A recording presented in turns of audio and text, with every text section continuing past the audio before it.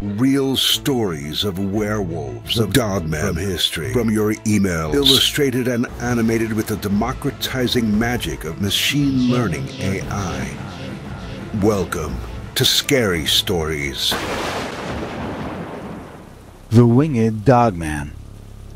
Dear Scary Stories NYC, I have seen a winged dogman behind my friend's house in Curwensville, Pennsylvania. I have seen it on three occasions, and I will describe each sighting to you. My friend and his family go to Florida at some point most summers, and when they do, I am usually the one who moves in to watch their place when they're gone. For this reason, every time I've seen this monster, I've been alone, and there's been no other witness to my personal sightings. That having been said, I am not the only one to have seen it. This creature looks like a werewolf style dogman, but with a very canine head. He is muscular and his shoulders are broad, like those of a muscular bodybuilder sort of a guy. Its ears go straight up, and with those glowing eyes, you would think you're seeing Batman. And then there are those wings. To me, the wings look too small to actually lift him up off the ground. But this big dogman type animal has two large bat wings on his back anyway. He can move them. I've seen him gently flap them to clear some fog away one early morning when he was outside, watching some deer that were grazing at the edge of the woods. This was 2018, my first time seeing the creature or entity or whatever it is, and I thought I was seeing a living gargoyle. I mean, what else has a dog head but bat wings? I had gotten up to use the bathroom at 3 or 4 in the morning when I caught sight of the deer outside. Charmed by this sight, I came over and leaned on the windowsill to watch them for a while. Something drew my attention away from the small family of deer to a shadowy area closer to me. Hiding behind my friend's garage was what I at first took to be a large guy dressed up as Batman. As I watched for some time, the part that I thought was his cape moved enough that I could tell they were actually leathery wings not a leathery cape. He could move those wings at will. They seemed to be a living part of this fellow. The ears on his mask also moved in such a way that I could tell that was no mask at all. It was a living man-like monster with tall ears and bat wings, and that was what I was looking at. Just then, the family of deer moved and ran off. I looked over at them for a second, then back at the dogman, only to find that he had bolted after them while I was looking away. I couldn't see him any more that night, and in fact, I didn't see that creature any more that summer. I did see it again in the summer of 2019, again when I was back at the house in Curwensville, at the edge of the woods. This time it was up on the roof of the house, and I heard it before I saw it. Again, this was something that happened in the middle of the night, at 3 or 4 or something like that. I was sleeping when I suddenly woke up to the sound of someone stomping around on the roof. I called out, calling him Santa up there and telling him he was months away from Christmas. The stomping continued and I got out of bed, since I couldn't sleep through that racket anyway. This time, when I ran outside and shone my flashlight up at the roof, I saw the creature for an instant from the front. I had seen it sort of from the side and rear the first time, but in this second sighting, we were both facing each other. He was standing up on the roof, and I was standing down on the ground. I shone my flashlight up there and I saw the creature as it opened its mouth wide and screeched at me. Maybe screech isn't the right word, but it was a loud and angry sound. A second after the light hit it, the monster took off over the top edge of the house and out of my sight.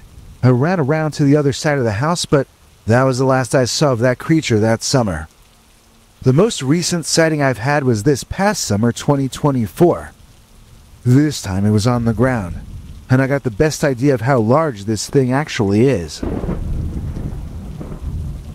In 2022, my friend got a small terrier dog. It yaps a lot, but is basically friendly. One night it was going wild, yapping at something out back, and it wouldn't let me sleep. When I got up to look, I couldn't see anything at all out there. The dog was making a racket, but I couldn't see anything. I remember that there are backyard lights which you can turn on from inside the kitchen, so I went and did that, illuminating all of the back area. I got the shock of my life when I saw, standing no more than 15 or 20 feet away from me, this large, furry muscle man of a monster. He was at least six foot six, maybe seven feet tall. He looked like he weighed 300 or 400 pounds, and yet he had those large leathery bat wings on his back. Those wings were big, no doubt, and powerful too. But how powerful would wings need to be to lift a 350 pound monster up off the ground? After our eyes met briefly, the creature ran off at lightning speed into the darkness and was once again out of my sight. Note I said it ran off, not flew off. I can't imagine those wings lifting it off the ground. Nevertheless, that is exactly what my friend claims he saw. Now, I never told him about my creature sightings until 2022, when I hadn't seen it for a while, and I was hoping it was gone permanently. I didn't want to mention it because I didn't want my friend to think I was crazy. But it turned out he had seen it too, and his story was wilder than mine. His story starts off with horrible sounds coming from outside. My friend couldn't recognize what those sounds were, but he ran out back to investigate anyway. As he did so, according to his version of events, he saw the bat-winged dogman up in a tree, on a branch, maybe 30 or 40 feet up in the air. My friend gawked as the dogman, carrying some small creature in its mouth, leaped into the air. Rather than crashing down to the ground, the beast took off, flapping its wings furiously, and managed to stay up in the air and maneuver itself out of my friend's sight. So, at least according to this friend, those wings actually do work. This is something I would like to see with my own eyes. But until then, I will have to take my friend's word for it. I don't know if this is a natural creature that lives in Pennsylvania, or if this is some kind of demonic entity conjured up by some kids playing with a Ouija board or some such nonsense. Maybe it walked through a portal, and if so, I wish it would walk right back. As frightening and inexplicable as this beast man is, I admit I would love the chance to once again lay eyes on the winged dogman.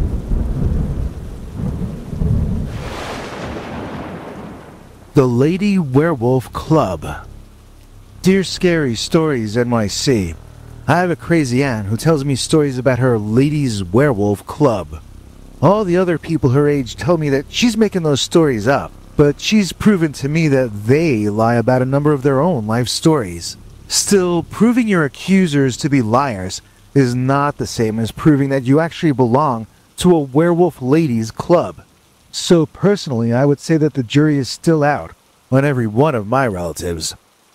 Aunt Olsana may be telling the truth or may be part of an entire family of imaginative storytellers. She's promised me that on my 25th birthday, she'll take me to visit the Lady Werewolves and suggest me as a new member. That's still six years away, though, and Auntie O's health has not been well since the pandemic. Even if she's being completely honest, she may not live long enough to prove it to me. You see, they do not accept members younger than 25. This was not always the case if my aunt is to be believed. She says she was a charter member, and that none of them were even 20 years old yet when they formed their club.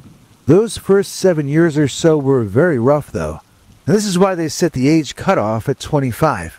They were of a mind that a woman doesn't really know how to live effectively as a werewolf until she is that age. This opinion was formed entirely based on the fact that these particular ladies got their act together at the age of 25. The stories of the early days of Aunt Olsana's Lady Werewolf Pack sound a bit rough. None of them seem to have had any idea what they were getting involved with as they made the decisions that would carry them on this path for the rest of their lives. It started, as many stories do, with the ladies meeting a man or maybe he wasn't entirely a man, and that was the reason the meeting was so significant. There was a werewolf that the ladies met and began to pay attention to. Auntie O will only refer to him as the man, or the big man, even as she admits that he was something other than a normal man. Maybe he wasn't actually the big man, but he was most certainly the top dog. So, from what I can gather, the ladies met the big man in the 1970s, and they immediately began hanging around with him and traveling with him wherever he went. Auntie O compared it to Jesus and his disciples, but to me, it sounded more like Manson and his family. According to my aunt, several of the women got pregnant with the top dog's children, and this was before any of them even knew he was a werewolf. Apparently, this guy had such charisma that the women couldn't resist him. My aunt never bore any of his children, but it wasn't for lack of trying.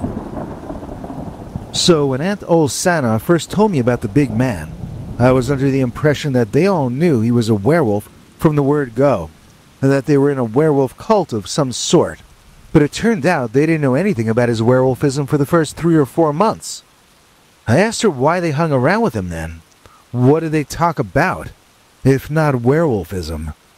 Auntie O says that now, when she looks back on it, she does believe that the top dog used his werewolf charm on the ladies from the very first instant, and that it was even more effective because they didn't even realize they were under his influence.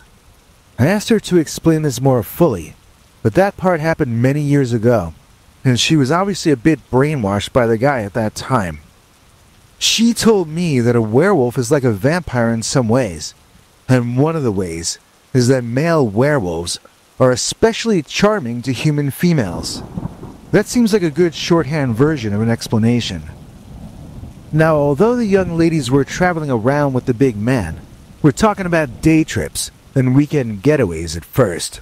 When a couple or three of the ladies found out they were bearing the top dog's kids, though, the situation shifted and became significantly more cult like. It was at this point they all took to the road together in a VW van. I don't know if it reminds me more of Scooby Doo or of the Texas Chainsaw Massacre. They would camp out and party at night and then drive to a new party location during the next day. It was also at this point when the big man started to get careless. He had been partying so hard, he had stopped noticing the calendar date or the phase of the moon. So one night, when they were all enjoying some chicken dogs roasted over an open fire, the big man transformed into a werewolf or a wolfman right in front of the entire group.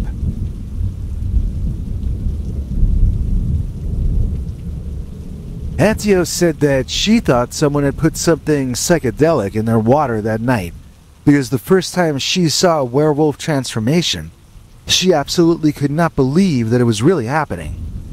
All the women were screaming and running in circles, not wanting to be near the horrific event happening in front of them, but also too afraid to run off into the woods alone at night.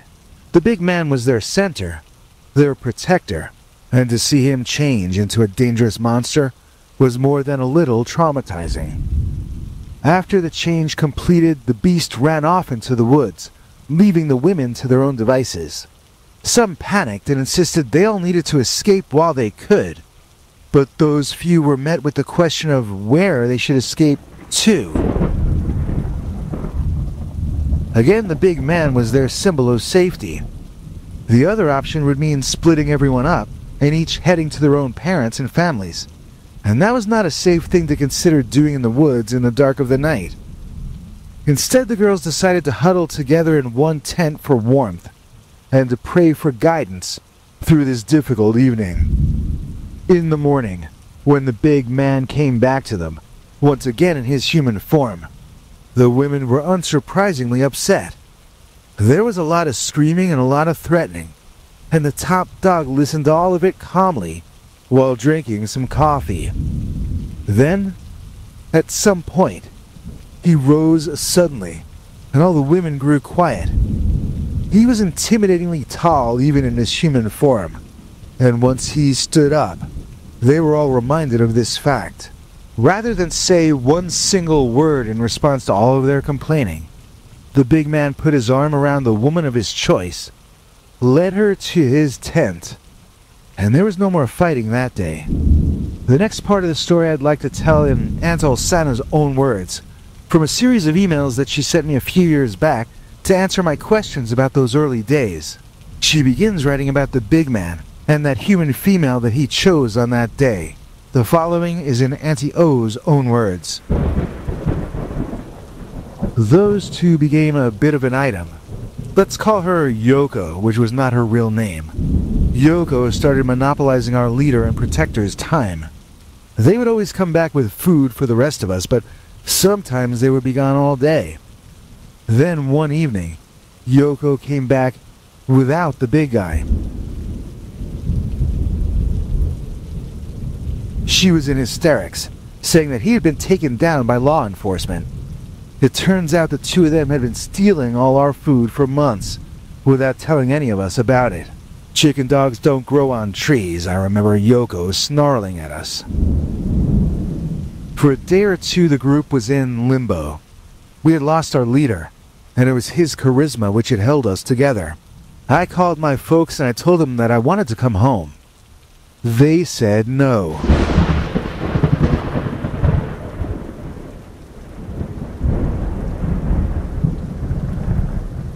It was the early 80s by then, and no matter how nostalgic you might be for that time, I am not.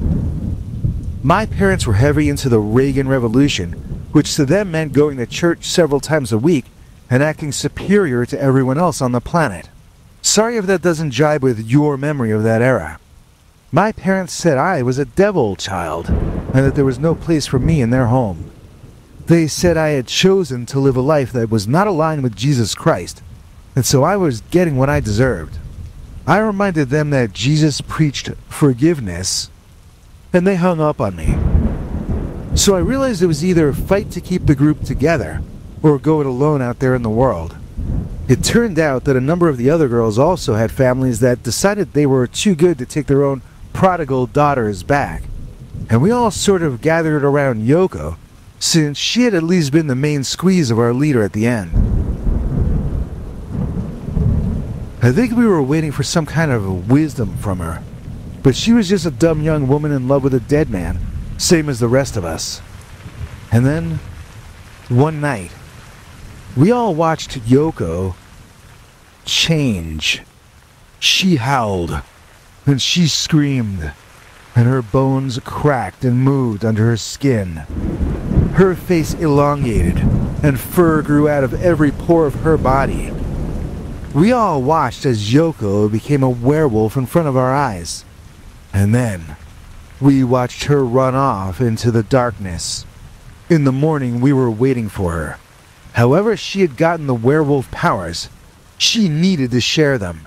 We demanded she share them. Yoko thought this was all funny. She had no idea any of us would want the werewolf's curse thrust upon us. Since we did, she obliged by biting each of us in turn. We did not become werewolves in the same way the big man had been, at least not at first. He was able to transform at will. Our changes were always based around the moon. When we were young, we would change for three nights in succession, the three nights of the full moon. As we aged, we changed less, but still always on the night of the full moon itself. We would change it to werewolves three nights a month, but we lived as werewolves full time. We took food from other campers. We wore baggy clothing and shoplifted. We hunted while in wolf form. We were off the grid and forgotten by society, so we went ahead and forgot society right back. We were dirty and mean, and we were little more than animals. And then one day, on Yoko's 25th birthday, as a matter of fact, we decided to go more legit. Not go legal or clean up our act in any way. We just all decided that night that a pack of mentally insane women with superhuman wolf powers three nights a month should be making more money than we were making. We felt we should be living more comfortably than we were living. We started to get more serious about crime. We became an organized crime gang. Don't try this at home, kids. We made part of our money working for others. We were great at security and enforcement because we looked so small. We cleaned up nice in those days and guys liked having us around. But when push came to shove, we could also take any guy down. Even in human form, We had instincts and reflexes that no man expects a woman to have. And if we were hired to work on a full moon night, then all bets were off. No man could take us, and no man would ever suspect us either. Soon we went from being dirt poor to living a life of opulence beyond which any of us ever dreamed. This has led me to my life's philosophy, which is doing crime isn't such a crime. Doing crime and not getting paid, now that is a different story altogether.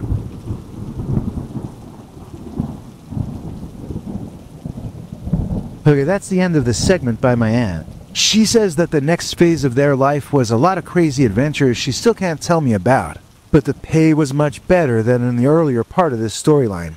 Auntie O does in fact live in a big old Addams family style mansion, and none of my relatives who say she's a liar can explain how she got that mansion in the first place. She's never been married, so she couldn't have inherited it. Where did the money come from to buy it? My family has no answer.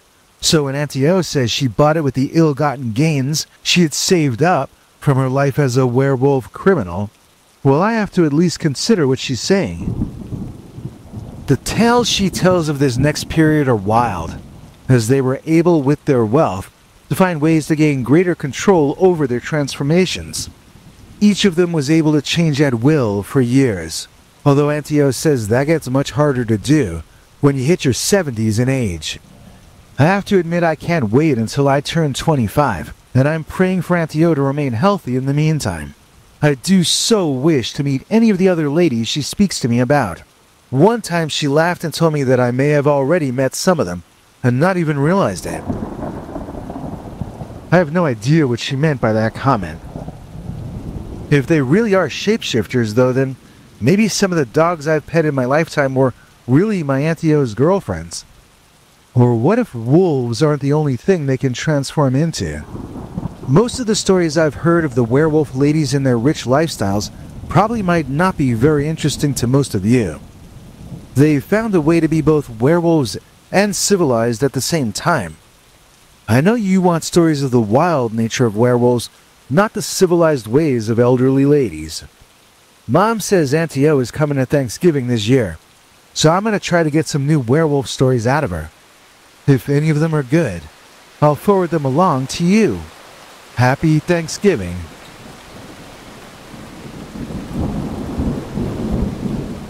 If you're looking for someone you can trusty, you couldn't do better than our EP Rusty. Please join me in thanking today's executive producer Rusty Reyes for making this episode possible. By the way, Rusty, I think you offered to let me play video games with you at some point in the past, and I don't think I responded to that. I don't own any video game systems, and that's because I don't have any time to play video games anyhow. I used to have a couple of them on this PC, but I deleted them for hard drive space. Making videos and songs is what I really love to do, but I do want to thank you for the offer, which was very nice. It's just not a world that I will ever get to have time to be a part of. I work and sleep, basically. Except when my kitten got injured, then I couldn't work or sleep for a week. I keep promising to show him healed, but he keeps chewing on his injury, and I have to keep bandaging him up again. Here's a cute picture of him that Marie took. You can see the bandages on his arm. His spirits seem pretty good, but he is upset at me for making new episodes of the show. He wants me to go back to spending all day with him, making sure he's not ripping his stitches out and all that. At any rate, thank you to Rusty Reyes for being a $10 member. I hope you enjoyed the five hour long Volume 6 of our members only archive. And I hope you enjoy Volume 7, which I am praying I can get out before Monday.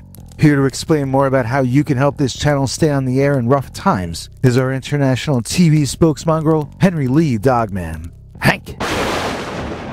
Thanks, Biggie. And thanks to all of you for watching this far. If you liked it, please click like. If you'd like to see more of our work, please subscribe. And also click that bell icon if you'd like to be notified when we put out a new episode. To become an executive producer, you can donate to us through the thanks button under each of our videos or through our paypal.me slash peterbernard209 page.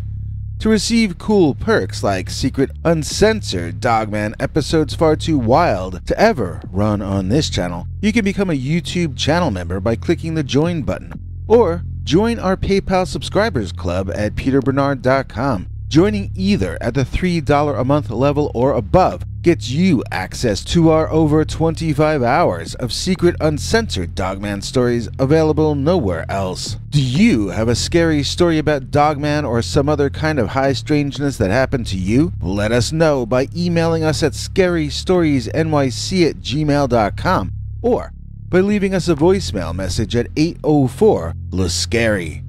You may need to call back on that when it cuts off after I think three minutes. And if you don't want to do any of that stuff, thank you for simply watching to the end. Good night, and have a scary tomorrow.